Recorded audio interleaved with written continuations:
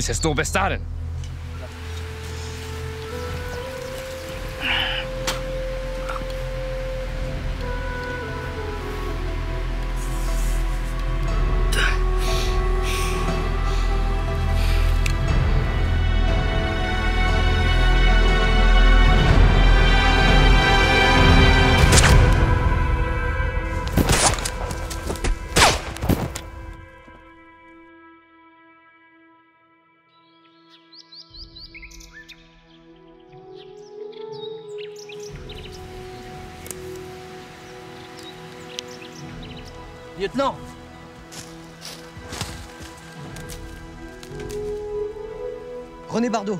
soldat au 93e régiment Oui, de... oui, oui, trêve de politesse, trêve de politesse. Je suis tellement heureux de vous voir, mon lieutenant.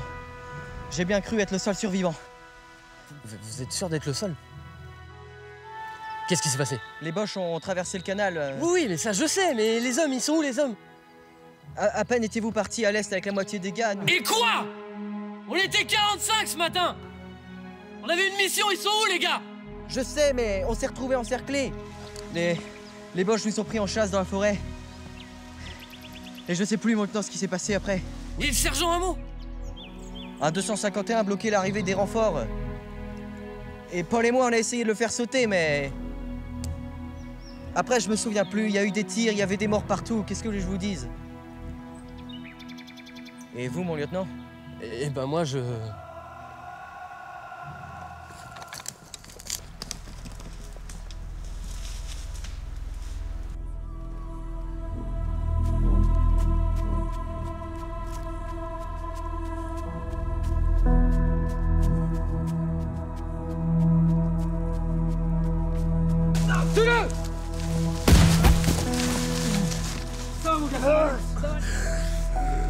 aller, ça va aller. Allez, allez. Tiens le coup, tiens le coup. Non, t'endors pas, t'endors pas, t'endors pas, t'endors pas. Allez.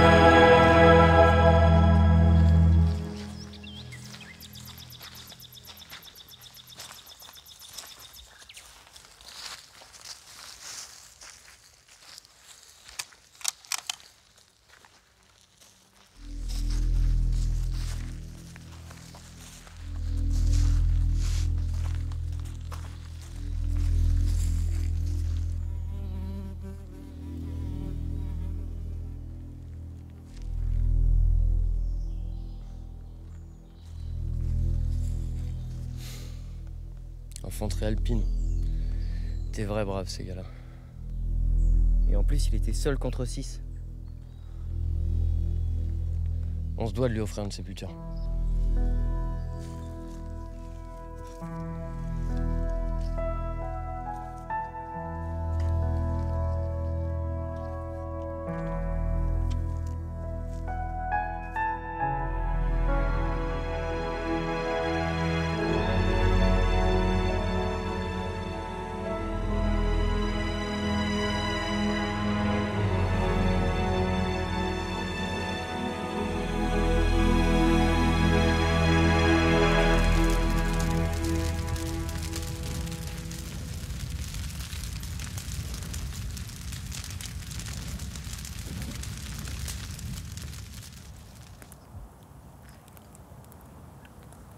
René, on devrait pouvoir rejoindre le 17ème demain.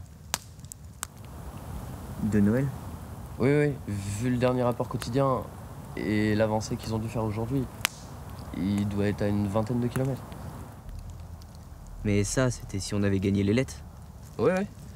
Alors vous croyez vraiment que tout est encore conforme au plan? Oui, oui, si toutefois on tombe pas sur eux, on trouvera bien d'autres gars. Et s'il y a personne? On trouvera, vous en faites pas. Lieutenant Taisez-vous Je vous ai dit qu'on trouvera.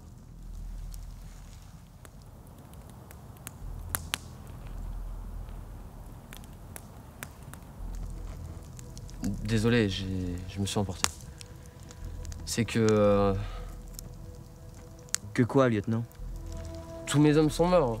Ils étaient tous sous ma responsabilité. Vous vous rendez compte?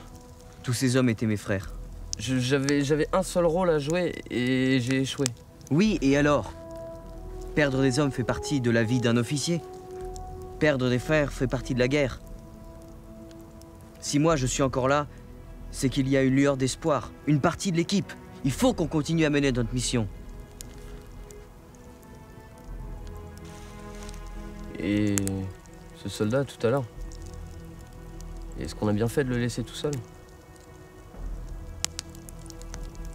Je, le connaissais bien, il s'appelait Paul.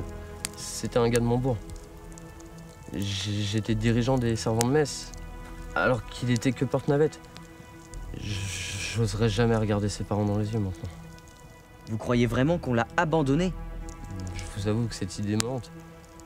Lieutenant, sa volonté était de mourir pour nous sauver. Il savait très bien que s'il partait avec nous, il ne pourrait jamais être soigné.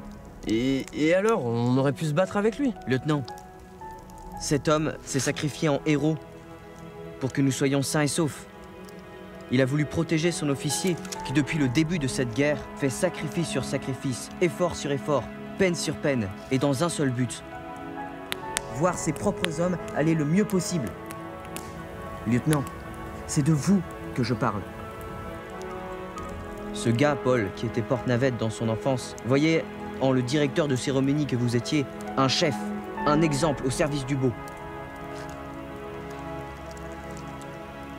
Alors, sortant de Saint-Cyr et étant à notre tête, vous avez su montrer à tous les gars, et moi le premier, le sens du renoncement de soi pour la protection de l'autre. L'esprit digne des officiers français, cet esprit de chevalerie que vous avez depuis le début des combats, c'est l'esprit de notre bataillon. Tous mes camarades qui sont morts sous votre commandement l'ont fait avec la fierté d'appartenir au 93e, sous les ordres du lieutenant François de Galerne. Cela a toujours été un honneur pour moi de servir à vos côtés, et je suis fier de le faire encore aujourd'hui. Ce soldat, tout à l'heure, vous a donné un remerciement à la hauteur de tous vos sacrifices. Paul a lui aussi voulu faire don de soi. Soldat, sachez que l'honneur pour moi a avant tout été d'avoir des hommes comme vous sous mon commandement. L'esprit de notre régiment, c'est aussi celui de voir le monde avec joie, toujours. Et ça, c'est grâce à des soldats comme vous, René. Je pense que c'est surtout grâce à notre bonne ambiance régionale. c'est vrai qu'entre les gars de la COP, vous des Brousil, Saint-Denis, la il y a de quoi mettre l'ambiance. Et les gars de la Boissière qui rattrapent en rien l'affaire. Alors eux vous, vous, vous souvenez du match de rugby qu'on avait fait au régiment Juste avant les permissions. Entre nous, les gars des Brousil, contre Bazoge. Ah oui Je me souviens, les Boissiériens avaient ramené leur goule en plein match, en criant Rambard Ça avait fini en une baston générale. La guerre n'avait même pas commencé qu'on avait déjà tous le nez pété. Avec le géant des Brousil euh, qui chargeait euh, avec la balle. Ah, ce brave Antoine Lui, sur un terrain, il criait pas, il meuglait. Exactement un raz de marée. Nombreux étaient les gars qui s'étaient fait piétiner. Et puis moi, vous m'auriez vu. J'ai été convoqué dans le bureau du colonel Moreau. Je me suis pris une de ses soufflantes.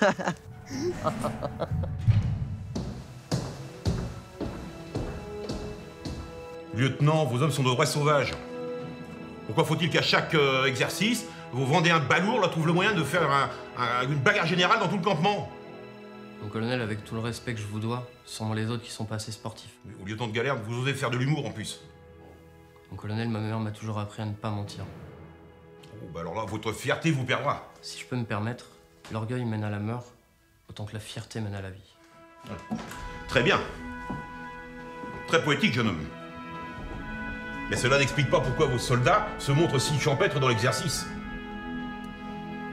Ou quand on veut de la discrétion, on obtient une chorale.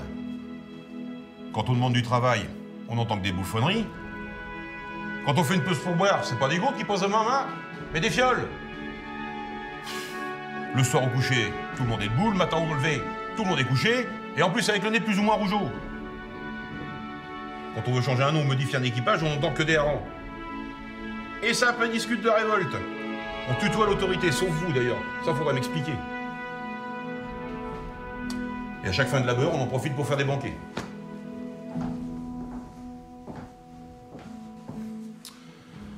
Voilà une belle liste de reproches faites à vos hommes, lieutenant. Qu'est-ce que vous en pensez? Moi, je trouve ça super, mon colonel. Vous faites très fort, lieutenant. Mais vous savez que vos hommes sont le reflet de votre autorité. Oui, mon colonel. Donc vous pouvez être expulsé à tout moment. Oui, ça je le sais aussi, mon colonel.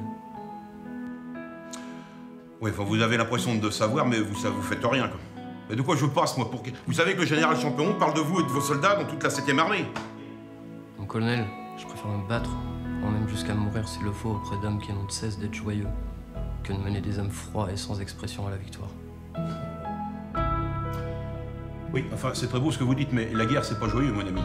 Ici, on apprend à vous battre face à la mort. Et autant l'affronter en chantant.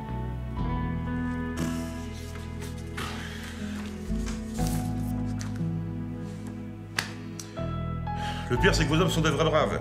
Et c'est ce qui embête le général, d'ailleurs. Ils sont toujours joyeux pour partir, et ils sont...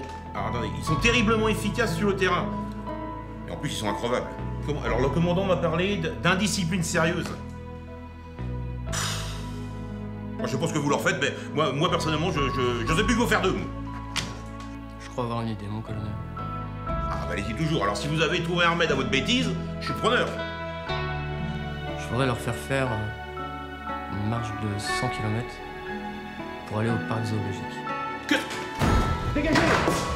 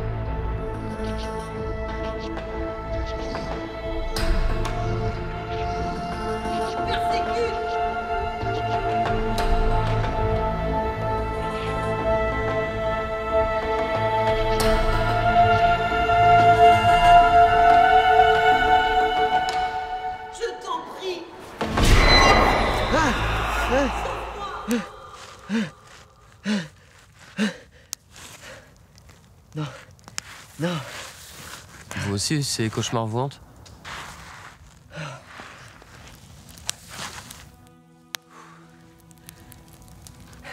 Oui. Toutes les nuits. Et vous êtes toujours autant surpris? Oui. Toujours. C'est quoi comme rêve? Eh bien... Un cri me réveille en sursaut. Un cri de détresse, un cri d'agonie.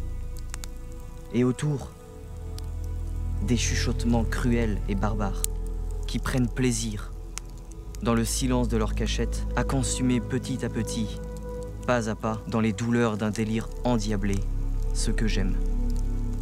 Chaque cauchemar est lié à une nouvelle personne, abandonnée, à des monstres avides de cruauté et de haine. Et ce soir, c'était qui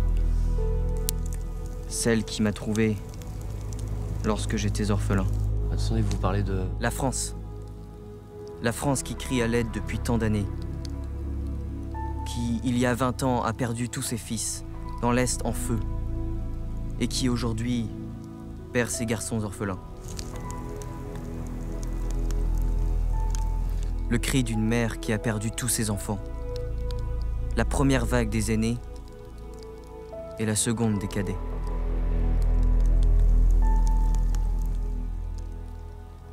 Et vous, mon lieutenant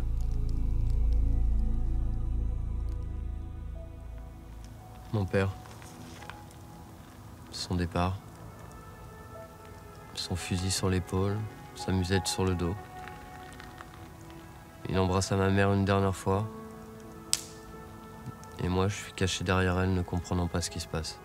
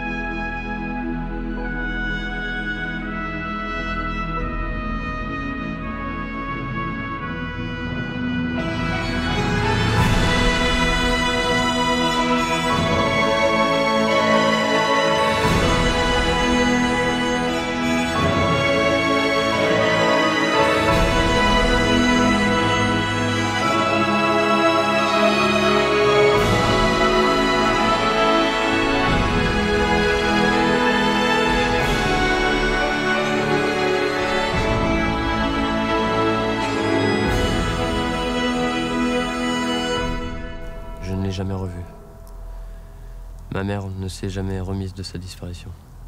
Je suis d'ailleurs très vite devenu orphelin.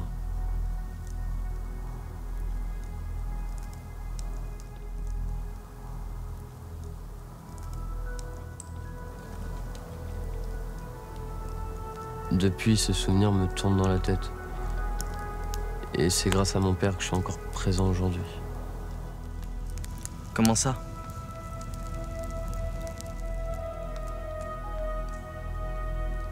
Vous m'avez dit que vous étiez devenu orphelin et que la France devint votre mère Mais, lieutenant, vous...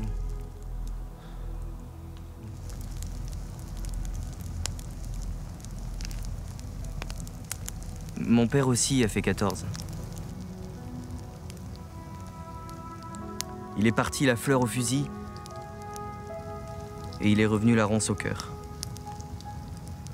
Je ne l'ai jamais connu. Avant la guerre, il était bardeur. Mais lorsqu'il est rentré, il est tombé dans l'alcool.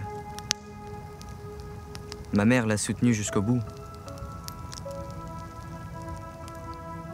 Ma mère a été le soldat qu'il aurait dû être. Et après, il est parti.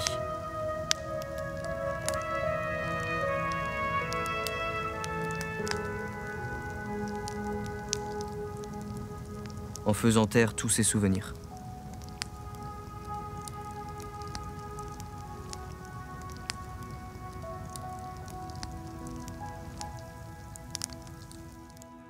Ma mère a ensuite élevé seule mes deux frères et moi. La journée, elle voulait toujours nous voir joyeux.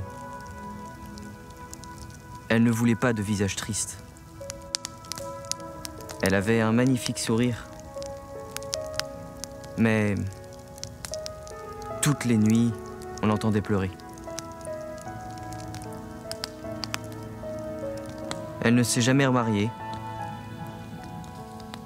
Elle se disait mariée à l'homme qui est parti de la maison en belle tenue de soldat, en casque brillant et au sourire éclatant, qui rêvait d'aventure et de grandeur.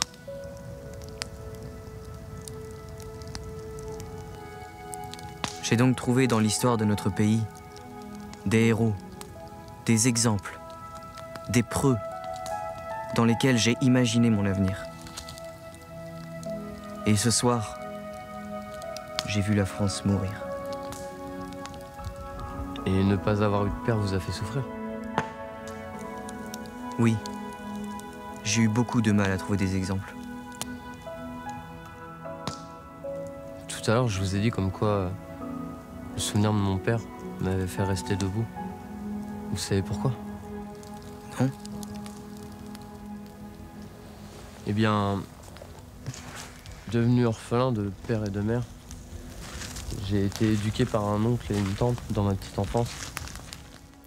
Après une jeunesse entre fugue et maison de correction, j'avais tout pour devenir un jeune homme perdu, hargneux et bien solitaire. Pourtant, je gardais toujours le souvenir du départ de mon père. Ses adieux à ma mère, mes parents qui s'aimaient, une toute petite famille bénie par le bon Dieu. Un souvenir si dur et si beau à la fois. Tant de tristesse, tant de haine face à ceux qui m'avaient retiré ce que j'avais de plus cher en ce temps-là. Je n'avais aucun désir de pardonner. Je vivais que pour détester. Un jour, en m'asseyant au bord d'un lac, je me remémorais encore et toujours ce souvenir. Et je me suis mis enfin à repenser à ce que moi je devenais. Est-ce que mon père, que j'admirais tant, voudrait d'un vaurien comme fils? Est-ce que ma mère, la pureté et la raison incarnée, aurait voulu d'un débauché comme garçon? Est-ce que j'étais digne de mes parents? Et le désespoir? Est-il vraiment la flamme qui anime le cœur de l'homme? Non, je crois pas. Mais le combat, l'honneur d'une bataille remportée, la fierté d'une victoire. J'étais si bas que je pouvais que me relever. Alors, petit à petit, euh, j'ai marché sur cette pente. Oui, ça a été dur. Oui, j'ai eu une vie compliquée, et alors? Et si je vis encore, c'est uniquement pour me redresser. Plus le combat est rude et plus la victoire est éclatante. Et la paix. La paix du cœur, la paix de l'âme. Alors, je suis rentré à l'école des officiers de Saint-Cyr. J'ai marché dans les pas des plus grands de notre histoire ceux qui ont souffert, ceux qui ont tout quitté, ceux qui ont tout abandonné pour la France. Je voulais me combattre moi-même, alors j'ai appris la guerre. Je ne voulais plus avoir mon père comme exemple, mais je voulais le devenir pour lui. À son image, je voulais devenir soldat, le, le soldat des combats intérieurs. Les plus grands sont ceux qui ont le plus souffert. Mais non Les plus grands sont ceux qui ont su se redresser. Soldats, ne rejetez jamais vos fautes, mais acceptez d'être tombés. Dans l'humilité, vous trouverez la victoire. La mort, quant à elle, elle se trouve dans le désespoir.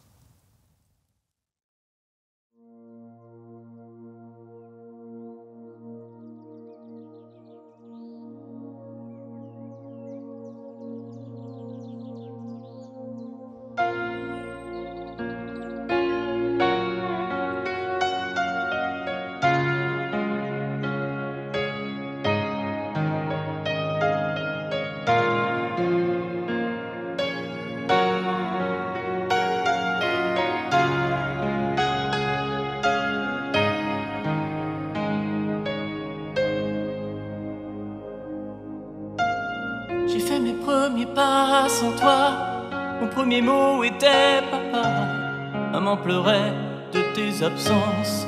Maman priait de ton silence. Je ne comprends pas pourquoi tu es parti faire ce combat. Celui de l'homme contre l'homme, juste pour détruire qui nous sommes. Tu es parti sans même savoir, sans un adieu, qu'un au revoir, comme si tu partais pour une heure, portant le sourire de la peur. Maman m'a appris à marcher, à courir et à pédaler, ce que tu aurais pu m'apprendre avec le temps, sans rien attendre. Je voudrais te serrer si fort, te montrer ton petit-fils Hector. Je vis à mon tour la vie de papa. Dans son regard, je te vois. Voudrais te présenter cette femme pour qui j'ai déclaré ma flamme. Je parle de toi comme un héros. Toi, mon héros, parti trop tôt. De tes courriers, j'inspirais de liberté et de paix. Mais sur le visage de maman coulait tant de larmes de sang. Tu aurais pu m'apprendre tant. J'apprendrai sans toi, papa, à suspendre, à désarmer le temps. Celui qui passera sans toi. J'espérais juste ton retour, une nuit d'éternité. On voulait juste un peu d'amour, te revoir à tout jamais. Je suis le cri de ta colère, l'enfant orphelin d'un père, celui qui croit, celui qui aime. Je ne suis qu'un gosse du 93e.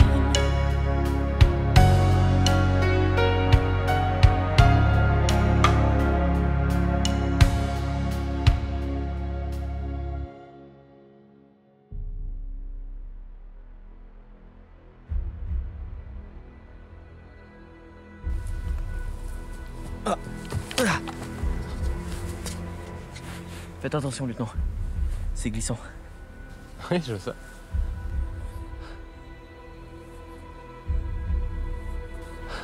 Vous avez vu? Je crois que c'est une ferme. Non, vous croyez? J'en suis même sûr. Et vu l'état de la grange, elle doit être abandonnée. Ah ouais Vu le nombre de fenêtres, ça me paraît quand même très très grand. Eh, René, j'avais compris que c'était une ferme. On, on y va alors? On y va.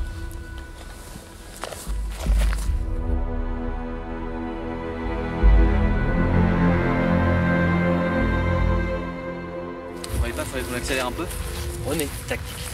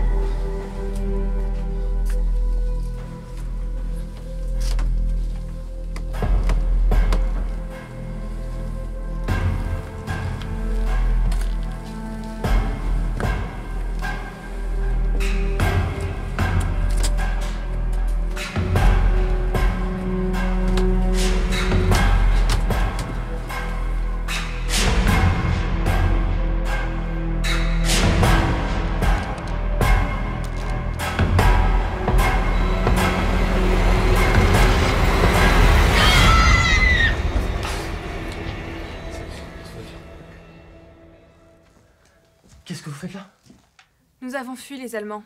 Nous nous sommes réfugiés dans cette ferme. Et les enfants vont bien? Oui, ça va, merci. René, allez leur chercher à manger. Il doit rester quelque chose en bas. Et ça fait longtemps que vous êtes ici?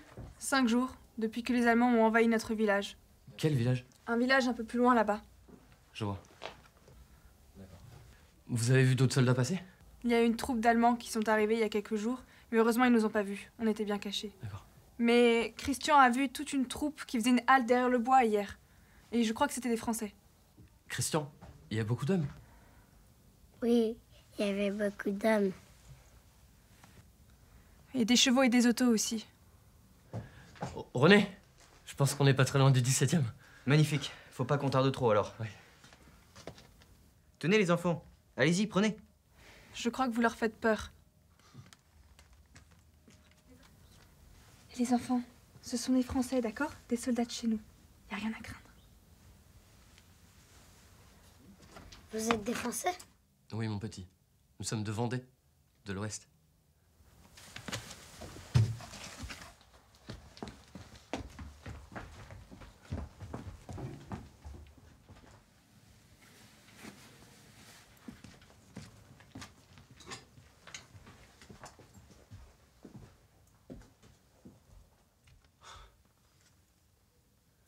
Je les avais jamais vus aussi joyeux. Ils sont vraiment en paix. Lieutenant, vous croyez vraiment que c'est une bonne idée? Pourquoi? Ça fait tellement longtemps qu'on n'a pas vu un sourire. Les Allemands sont pas loin. Ouais, peut-être. Bon, je reviens.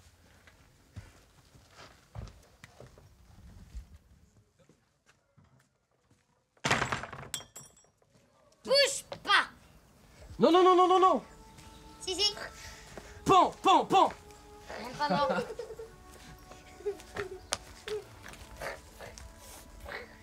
Ah, il est beau. Pap. Vous venez de le remonter? Oui. Oui. C'est la première fois? Euh, oui, on attendait le meilleur moment. Ah, c'est gentil. Vive la France Lieutenant. Allez, lieutenant.